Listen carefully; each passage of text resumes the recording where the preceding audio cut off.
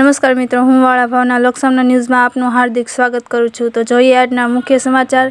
સૂત્રાપાડાથી અમારા રિપોર્ટર રામસી મોરી સાથે સૂત્રાપાડા ગીર સોમનાથ રાજ્ય સરકારના આરોગ્ય મંત્રી શ્રી ઋષિકેશભાઈ પટેલ વન અને પર્યાવરણ મંત્રી શ્રી મુળુભાઈ બેરા રાજકોટ ધારા સભ્ય શ્રી ઉદયભાઈ કાનગડ સોમનાથ જિલ્લા ભાજપા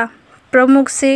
માનસીભાઈ પરમાર શ્રી હિરેનભાઈ બારડ એ સોમનાથ દાદાના દર્શન કરી પ્રજા સુખાકારીની પ્રાર્થના કરી આશીર્વાદ મેળવ્યા તો જોતા રહો લોકસામના ન્યૂઝ ફરી મળીશું નવા સમાચાર સાથે